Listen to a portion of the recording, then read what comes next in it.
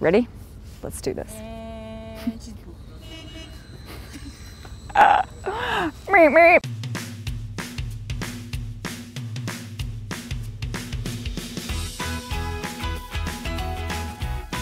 Hey Kern County, Megan Pearson, your Director of Countywide Communications, and this week we are at the starting line, literally, at the Auto Club Famoso Raceway, uh, and that is because they are having the 28th annual California Hot Rod Reunion this weekend. It starts on Friday, October 25th, and it runs through Sunday, October 27th.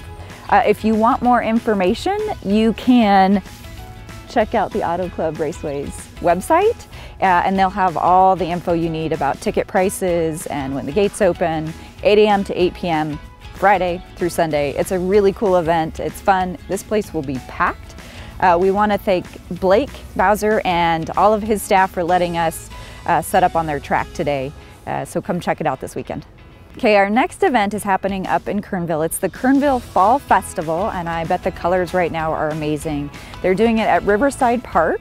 Uh, which is right there as you come into town. They'll have all sorts of fun stuff to do. It starts on Saturday, October 26th at 10 a.m. and it runs through Sunday uh, from 9 until 3. Uh, the admission is free and they're doing all sorts of great things. They'll have music, dog races, pumpkin patch, a chili cook-off. If you want more information, you can visit the Kernville Chamber of Commerce website. Our next event is at the Kern County Museum. It's the Kern County Museum Village Flea. That takes place on Sunday, October 27th from 8 a.m. to 4 p.m. They'll have vendors uh, for antiques and collectibles, vintage clothing, art, uh, vintage home furnishings, lots of local artisan goods. Tickets are $5, children 10 and under are free. If you want more information about that event, you can check out the Kern County Museum's website. Okay, so this week we also have all the trunk or treats. Uh, they're going at every corner of the county. So uh, hang tight. I'm gonna actually just run through these really quickly and you can get all the information um, on their site. So the first one is Friday, October 25th from 5 to 7. It's at the Kern County Sheriff's Office East Bakersfield Substation. The next one is in Ridgecrest at the Kerr-McGee Center. Um, that's on Saturday, October 26th from 4.30 to 6.30 p.m. They're also showing a movie, so be sure to check that out. Frazier Park Library is having one as well, and that's on Saturday, October 26th from 3 to 6 p.m.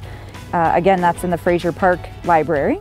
The Shafter Youth Center Fall Festival and Trunk or Treat is happening on Monday, October 28th from 6 to 8 p.m.